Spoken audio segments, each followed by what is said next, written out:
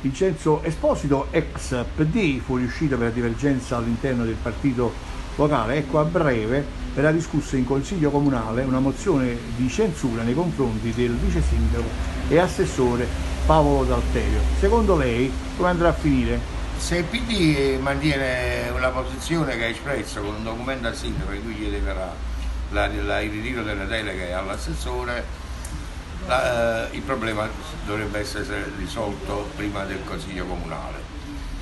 Se il sindaco non tiene conto delle indicazioni del suo partito e si va in Consiglio Comunale, io penso che per coerenza il PD dovrebbe votare la mozione di censura. A quel punto eh, si pone un problema.